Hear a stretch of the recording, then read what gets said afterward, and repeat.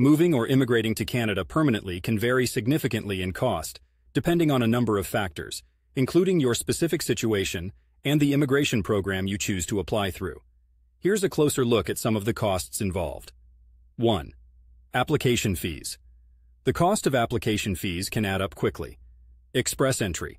If you're applying through the Federal Skilled Worker Program, there is a CAD $1,325 fee per adult. This includes the processing fee and right of permanent residence fee. Provincial Nominee Program, PNP. Fees vary by province, but generally range from CAD $300 to CAD $1,500. Family Sponsorship. The sponsorship fee is CAD $1,050 total for a spouse or partner. 2. Legal and expert fees. Many people choose to hire an immigration lawyer or consultant to assist with their application. This can cost anywhere from CAD $2,000 to CAD $10,000 or more. 3. Language testing. Most Canadian immigration programs require applicants to prove their proficiency in English or French.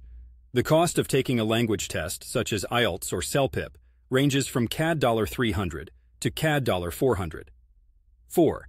Educational Credential Assessment. An Educational Credential Assessment, ECA, is necessary for certain immigration pathways.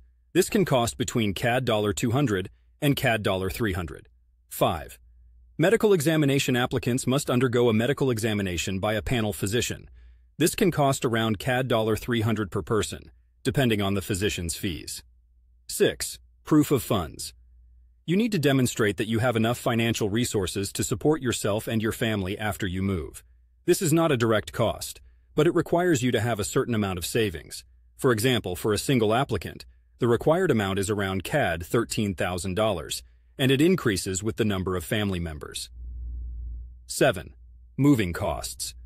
Moving costs can vary widely depending on your possessions and starting location. A ballpark estimate would be between USD $3,000 to USD $7,000 for a long-distance move using professional movers. Some people opt to rent a moving truck, which can be more affordable but involves more personal labor. 8. Settling in costs. Once you arrive, you'll need to budget for initial living expenses. Housing. Rent costs vary greatly across Canada. For example, renting a one-bedroom apartment in a city like Toronto or Vancouver can run you CAD $1,500 to CAD $2,500 per month, whereas smaller cities may be significantly cheaper. Utilities and groceries. Costs for utilities, groceries, and other essentials will vary based on your living arrangements and lifestyle. Retiring in Canada. If you're looking to retire in Canada, you may need to consider additional costs. Retirement funds. Proof of sufficient funds to support yourself without working is crucial. Health insurance.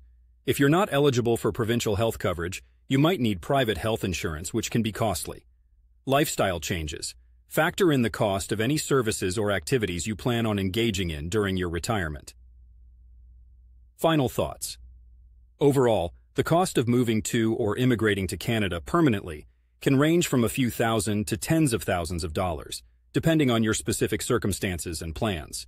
It's essential you thoroughly research and plan your move, taking into consideration both the direct immigration costs and the financial requirements to settle comfortably in Canada.